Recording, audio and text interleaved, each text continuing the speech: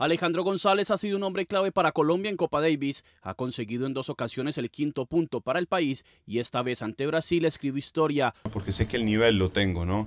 El nivel lo tengo.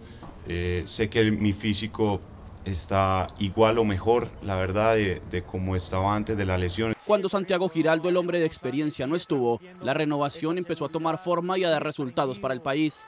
Se trata de aprovechar ese buen momento que vive cada jugador en, en su debido momento. En esta oportunidad, Dani Galán, eh, creo que, que viene demostrando muy buenos resultados, venía a hacer una muy buena semana en México.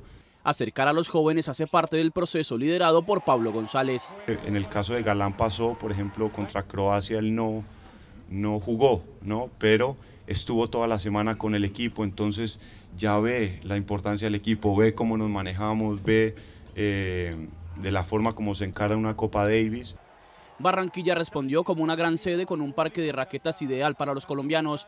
El rival del repechaje al que Colombia accedió por sexta vez se conocerá este martes y saldrá entre Argentina como visitante, Japón como visitante, Canadá como local, Serbia, Australia, Suiza, República Checa o Gran Bretaña. Estos últimos cinco la sede se definirá por sorteo.